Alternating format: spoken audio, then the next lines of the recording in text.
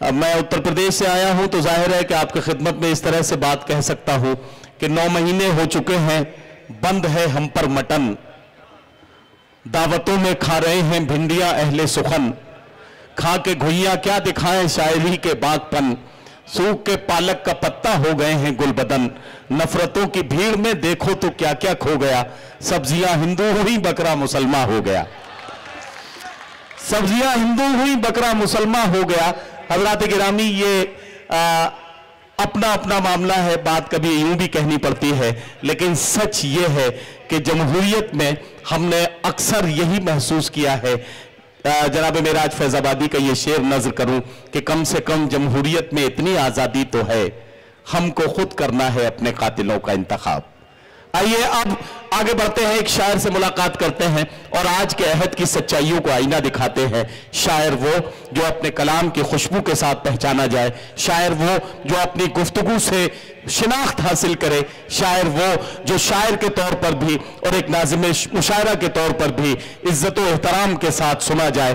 نظر بجنوری صاحب سے میں گزارش کرتا ہوں، تشریف لائیں اور اپنے خوبصورت کلام سے نوازیں۔ جناب، نظر بجنوری کسی تعارف کے محتاج نہیں ہے۔ بارہا آپ نے انہیں سنا ہے، آج کے مشاعرے میں اپنے کلام کے ساتھ جناب نظر بجنوری۔ السلام علیکم ورحمۃ اللہ وبرکاتہ۔ حاضر محفل صدر عالض وقار محترم ابو عاصم اعظمی صاحب کی اجازت سے وقت کی جو پریشانی ہے اس کا احترام سب پر لازم ہے۔ ندیم فنرخ صاحب کی نظامت تمام شعراء اکرام یہاں جلوہ افروز۔ عرض کرتا ہوں کہ کہانی پر کہانی لکھ رہا ہے۔ کہانی پر کہانی لکھ رہا ہے۔ وہ خود ہی اپنا ثانی لکھ رہا ہے۔ واہ واہ واہ واہ۔ کہانی پر کہانی لکھ رہا ہے۔ وہ خود ہی اپنا ثانی ہی لکھ رہا اپنا ثانی لکھ رہا ہے۔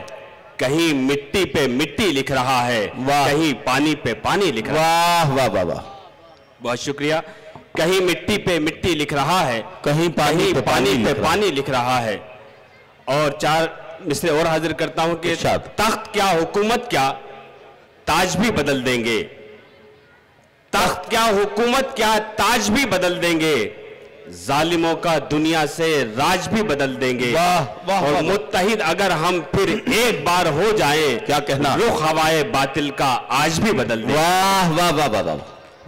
بہت شکریہ حاضرین یہ گونڈی ہے اور آپ نے پوری اردو دنیا کو پورے ہندوستان کو یہاں سے مشاہروں کا ایک نیا پہلو دیا ہے۔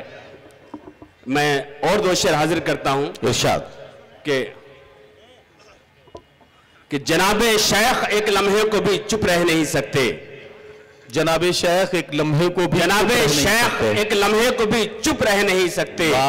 جہاں کہنا ضروری ہے وہاں کچھ کہہ نہیں سکتے واہ واہ واہ واہ اور تیرے سینے کے اندر دل اگر ہوتا تڑپ اٹھتا۔ تو پتھر ہے تیری آنکھوں سے آنسو بہ نہیں سکتے واہ واہ واہ واہ واہ تیرے سینے کے اندر دل اگر ہوتا تڑپ اٹھتا کیا پتھر؟ ہے تیری آنکھوں سے آنسو بہ نہیں سکتے واہ